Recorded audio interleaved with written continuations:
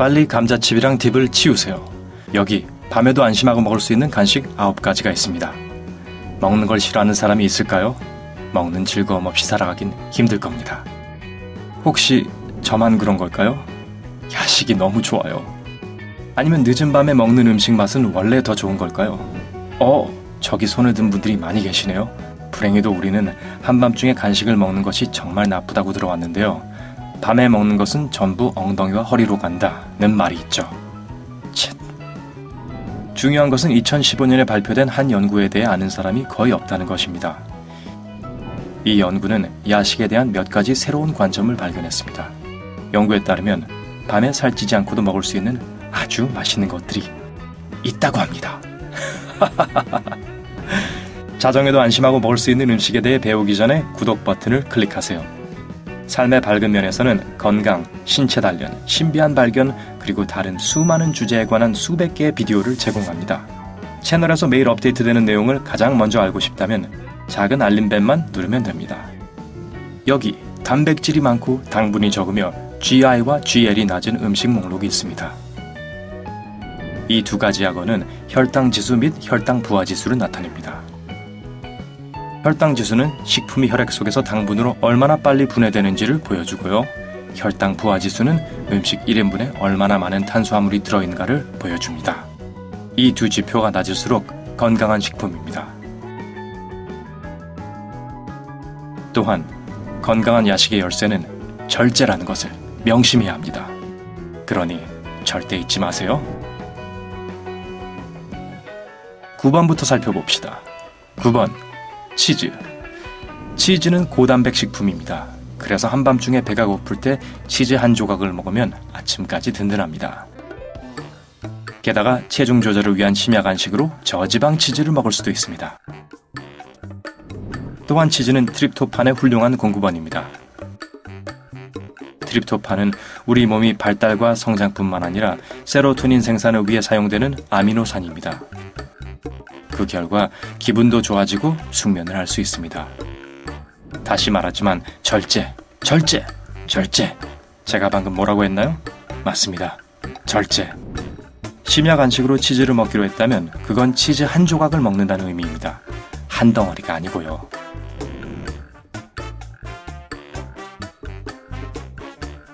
8번 코티지 치즈. 보스과에 있는 아주 작은 집에서 먹는 건가요? 코티지. 아, 신경 쓰지 마세요. 코티지 치즈는 카세인이라는 단백질을 함유하고 있는데 소화 속도가 매우 느립니다. 그래서 심야 간식에 가장 좋은 종류의 단백질입니다. 배고픔을 막아주고 포만감을 증가시킵니다. 한밤중 간식으로서 코티지 치즈가 좋은 또 하나의 이유는 풍부한 비타민과 미량 영양소 함량입니다. 코티지 치즈는 근육의 건강을 돕고 면역 체계를 향상시키고 혈액의 질을 개선하며 뼈를 강하게 만듭니다. 와, 이 모든 걸 다 그냥 간식을 먹는 것일 뿐이라고 생각하셨겠죠? 7번 허머스. 어, 이거 제가 좋아하는 것 중 하나인데요.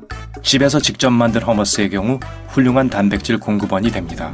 배에서 꼬르륵 하는 소리가 들릴 때 허머스에 당근이나 샐러리를 찍어 먹는 것은 탁월한 선택입니다. 허머스의 병아리 콩은 포만감을 주는 것으로 잘 알려져 있으며 배고픔을 신속하고 효과적으로 억제합니다. 어떤 사람들은 허머스가 너무 지방이 많고 열량이 높다고 생각하지만 적당량을 먹으면 괜찮습니다.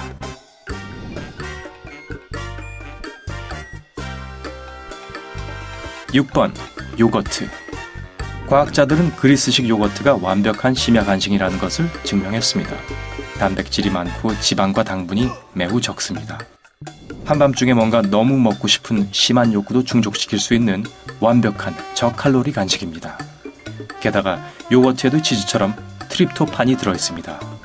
휴식, 진정 및 수면 유발 효과가 있는 세로토닌 및 멜라토닌의 생산에 기여합니다. 요거트는 또한 소화를 돕고 근육을 만드는 데 도움을 줍니다. 간식을 더 맛있게 만들려면 과일이나 베리를 넣거나 통밀 토스트와 함께 요거트를 드세요.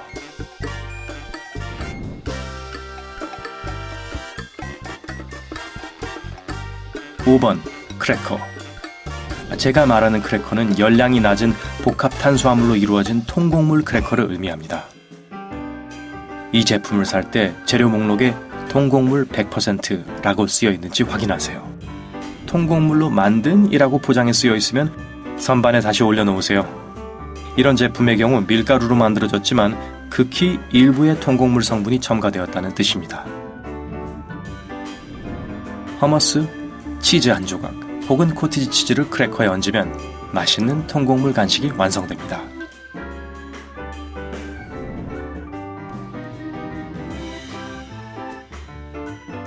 4번 팝콘 믿기 힘들겠지만 팝콘은 밤에 먹기에 완벽한 간식입니다. 하지만 버터가 잔뜩 들어있는 전자레인지 팝콘을 말하는 것이 아닙니다. 직접 만든 공기로 튀긴 팝콘이어야 합니다. 그래야지 허리둘레를 유지하는 데 도움이 되죠. 이런 식으로 만든 팝콘은 단백질과 섬유질이 풍부하고 지방과 열량이 적으며 소금과 설탕이 없습니다. 대부분 섬유질과 공기이기 때문에 포만감을 줍니다. 맛을 더하고 싶다면 마늘 소금, 고춧가루 또는 약간의 허브와 향신료를 추가하세요. 짜잔! 3번 달걀 달걀은 또 하나의 놀라운 간식입니다. 달걀 한 개가 75칼로리밖에 되지 않지만 단백질이 매우 풍부해서 오랫동안 포만감을 줍니다. 달걀은 치즈와 요거트만큼 훌륭한 트립토판 공급원입니다.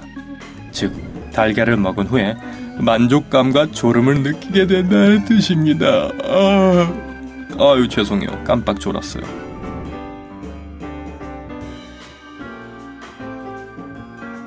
2번 야채 야채 간식은 최고입니다.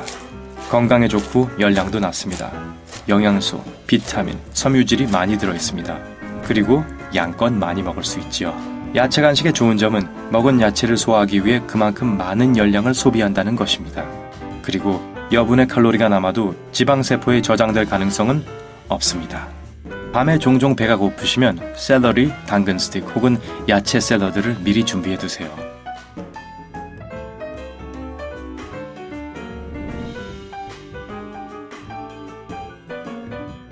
1번 바나나 바나나는 열량이 상당히 높지만 풍부한 칼륨과 매그네슘 함유량을 최장점으로 볼 수 있죠. 이 성분들은 바나나를 굉장한 이완제로 만듭니다. 바나나에 또한 소화와 심장 건강에 좋은 섬유질이 많이 포함되어 있습니다. 트립토판도 풍부합니다. 트립토판은 졸음을 일으키는 멜라토닌 생산에 도움을 줍니다. 와, 요거트, 코티지 치즈, 바나나, 트립토판 삼총사네요. 이 모든 음식물은 당신이 배고픔을 가라앉히고 허리를 날씬하게 유지하게 해줄 진정한 구세주입니다. 하지만 반대로 자기 전에 절대 먹지 말아야 하는 식품도 있습니다.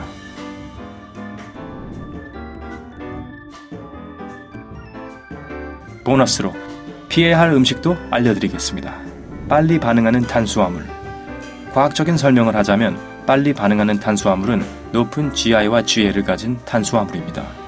포만감은 오래가지 못하고 아침에 체중이 더 많이 나가게 만듭니다. 그런 식품의 목록을 만들려면 여기에 나열하기엔 너무 많습니다. 기본적으로 단 것, 그러니까 케이크, 사탕, 도넛 같은 것을 피하세요. 이런 음식은 바로 허리로 갑니다. 사과. 놀라셨죠? 사과는 열량이 적고 모든 종류의 영양소가 풍부하게 들어있지만 아침이나 이른 오후에 먹는 것이 좋습니다. 사과에는 섬유질과 팩틴이 풍부하기 때문인데 팩틴은 사과 껍질에 들어 있습니다.